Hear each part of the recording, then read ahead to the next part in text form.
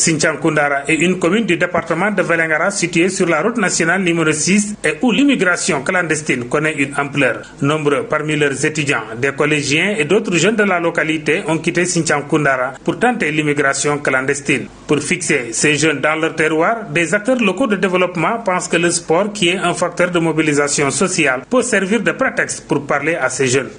On ne peut pas, par, par, des biais, par le biais de la morale avec des images négatives, empêcher les gens d'aller vers le développement. Il faut développer chez soi pour inverser les tendances qui permettent d'aller vers le développement. C'est la pauvreté qui pousse les gens à sortir. Pour lutter contre la pauvreté, on peut le faire dans l'agriculture. Le président Macky Sall le croit. Nous l'accompagnons dans ça et ça, c'est notre dada. Nous pensons que nous pouvons empêcher les jeunes parce qu'ils ont compris qu'ils peuvent gagner leur vie ici, à aller en Europe. Et donc, ce n'est pas les images négatives en montrant des gens qui s'avirent qu'on va les convaincre qu'il ne faut pas partir il faut leur offrir autre chose. Il faut un plan B pour que ce plan A, aller mourir en mer, puisse ne pas être exécuté.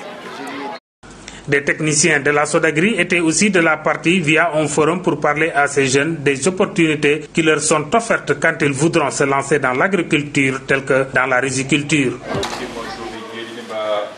Pour aider ces jeunes à vaincre le sous-emploi et la pauvreté en leur sein, en tout cas, la Sodagri est prête à leur apporter un appui technique, un conseil agricole, et également les orienter vers les collectivités locales pour l'obtention de terres. Les aider aussi à se formaliser en GIE afin qu'ils puissent bénéficier des partenariats que pourraient leur offrir des institutions financières telles que la CNCA pour financer leurs projets.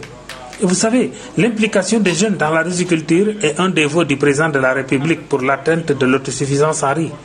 Au rythme actuel de la dépendance des jeunes du Fouladou vers les routes du désert, le phénomène nécessite des réflexions approfondies pour apporter une réponse durable face aux préoccupations de cette frange de la population.